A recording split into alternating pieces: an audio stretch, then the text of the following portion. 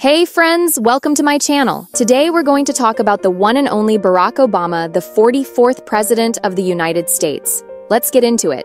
Barack Obama was not only the first African-American president of the US, but also one of the most charismatic and popular leaders in history. He had a lot of swag, style, and humor that made him stand out from the crowd. Here are some of the reasons why Obama was the coolest and dopest president ever. The first reason is that during his time as president, he showed his love for basketball. Obama was a huge fan of the sport and played it regularly, even while in office. He even had a basketball court installed in the White House. He also hosted NBA stars like LeBron James, Steph Curry, and Kobe Bryant at the White House and played with them. How cool is that? Secondly, he was, and still is, a music lover. Obama had a diverse and eclectic taste in music, ranging from jazz and soul to hip hop and rock. He even created playlists on Spotify and shared them with the public.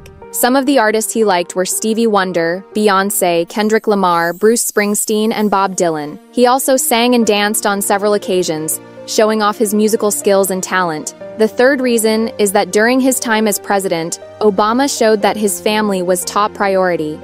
He had a strong and loving relationship with his wife Michelle and his two daughters, Malia and Sasha.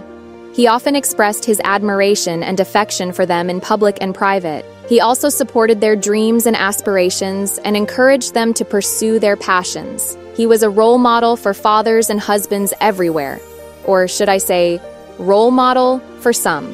Reason number four is that as president, he was a friend to the world. Obama was well respected and admired by many world leaders and celebrities. He had a warm and friendly rapport with them, and often cracked jokes and exchanged compliments.